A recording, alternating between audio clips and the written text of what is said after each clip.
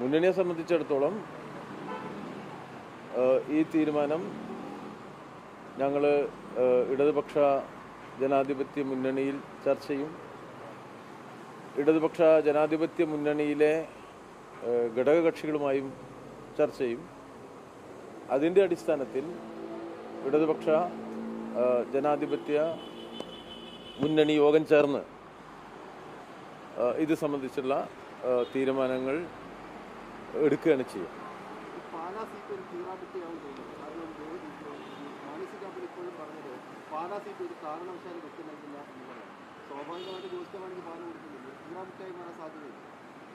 അല്ല ഇവിടെ ഈ ഇടതുപക്ഷ മുന്നണിയുമായി സഹകരിക്കാൻ തീരുമാനിച്ചുകൊണ്ടുള്ള പത്രസമ്മേളനത്തിൽ ശ്രീ ജോസ് കെ മാണി വളരെ കൃത്യമായി സൂചിപ്പിച്ചത് രാഷ്ട്രീയമായ കാര്യങ്ങളാണ്.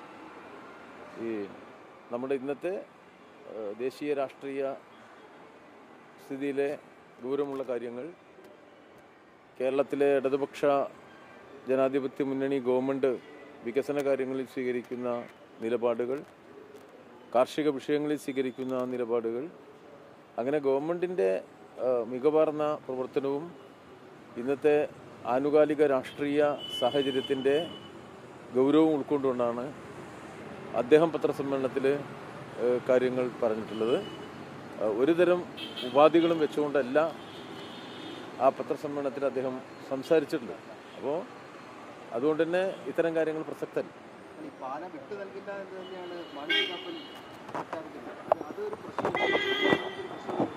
മാണി സി കാപ്പന്റെ പ്രസ്താവന വന്നിരുന്നതിന് ശേഷം. അതിങ്ങനെയല്ല നിങ്ങൾ പറയുന്ന പോലെ എല്ലാ പണി സി കാപ്പനെ പ്രസ്താവന. സംബന്ധിച്ച് ഒരു ധാരണയായിട്ടില്ല അത് മാണി സി കാപ്പൻ ഇപ്പോൾ ഇത് കഴിഞ്ഞതിന് ശേഷം ജനാധിപത്യ മുന്നണിയുമായി സഹകരിച്ച് പ്രവർത്തിക്കുമെന്നാണ്. കാപ്പൻ അപ്പോൾ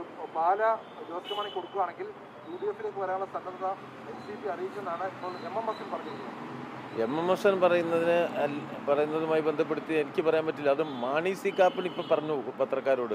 അത് സംബന്ധിച്ചല്ലേ നമ്മൾ കണ്ടത്. നമ്മളിപ്പോ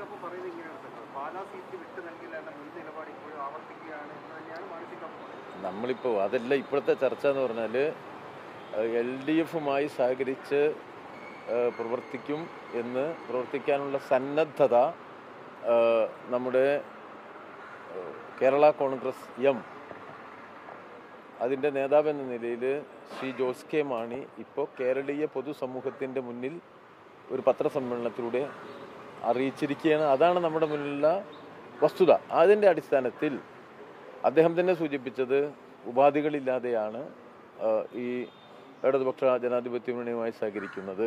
തന്റെ സ്ഥാനം രാജ്യസഭ എം പി സ്ഥാനം കൂടി അദ്ദേഹം രാജിവെക്കുമെന്നും അറിയിച്ചു കഴിഞ്ഞു. ബാക്കി കാര്യങ്ങൾ ഞാൻ വ്യക്തമാക്കി എൽ ഡി എഫിലെ ഘടകകക്ഷികളുമായി ഞങ്ങൾ ഇത് ചർച്ച ചെയ്യും. എൽ ഡി എഫ് മുന്നണി എന്നുള്ള നിലയിൽ പൊതുവായി ഇത് ചർച്ച ചെയ്ത് തീരുമാനമെടുക്കും. അതിന്റെ അടിസ്ഥാനത്തിൽ ഭാവി കാര്യങ്ങളായിട്ട് മുന്നോട്ട് പോകും. ഇത്രയേ ഉള്ളൂ അല്ല അതിൽ അത് നമ്മളിങ്ങനെ ആവർത്തിച്ച് ചോദിക്കേണ്ട. ഇതിൽ ഇതിൽ തീർന്നു അത്. ഇതിന്റെ തീരുമാനത്തെ സംബന്ധിച്ച് ഞാൻ വ്യക്തമായി കഴിഞ്ഞല്ലോ. ഇതിനെ ഇതിനെ ഇതിനേക്കാൾ കൂടുതലൊന്നും ഇതിൽ വ്യക്തമാക്കാനില്ല.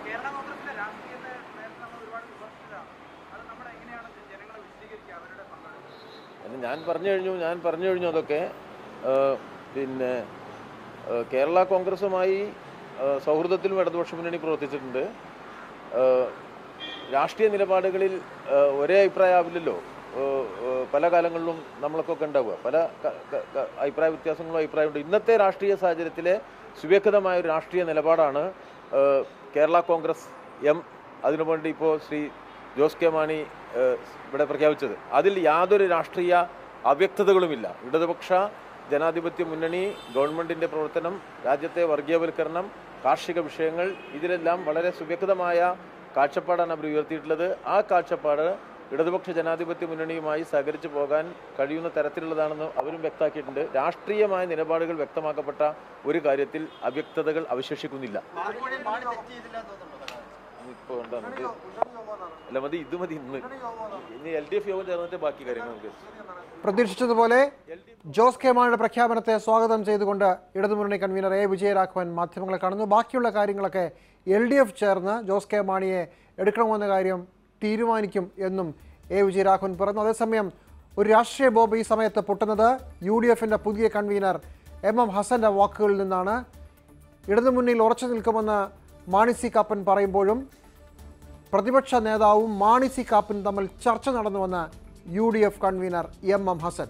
അതേക്കുറിച്ച് ഒന്നും പറയാനില്ലെന്ന് എ. വിജയരാഘവൻ.